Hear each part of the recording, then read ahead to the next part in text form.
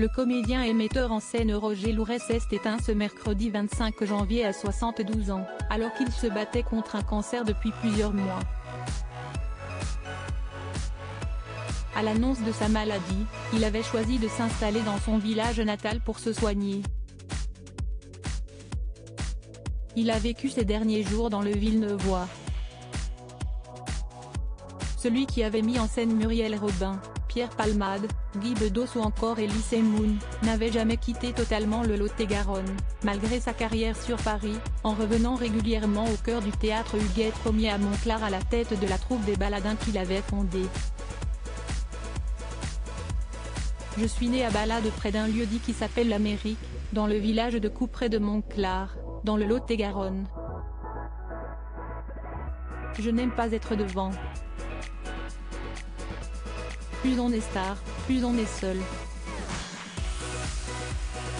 Je le sais parce que j'ai croisé beaucoup de stars dans ma vie.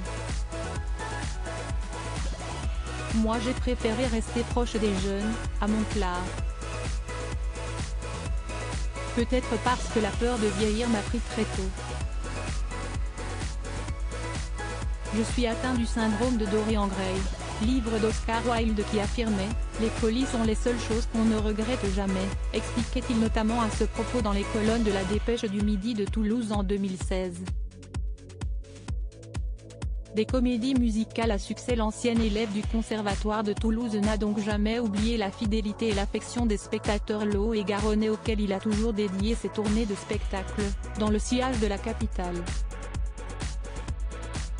Précisons que Roger Louret a également créé une douzaine de comédies musicales, dont la plus célèbre est Les années Twist, 1,4 million de spectateurs, couronné par un Molière en 1994. On lui doit aussi la Java des mémoires, nommée au Molière 1993, Les années Zazou, nommée au Molière 1996, La fièvre des années 80, nommée au Molière 1999, et bien d'autres encore. Ce que l'on sait moins, si est qu'il a lui-même joué dans une vingtaine de pièces de Molière, Goldoni, La Biche, Corneille, Marivaux ou encore Musset.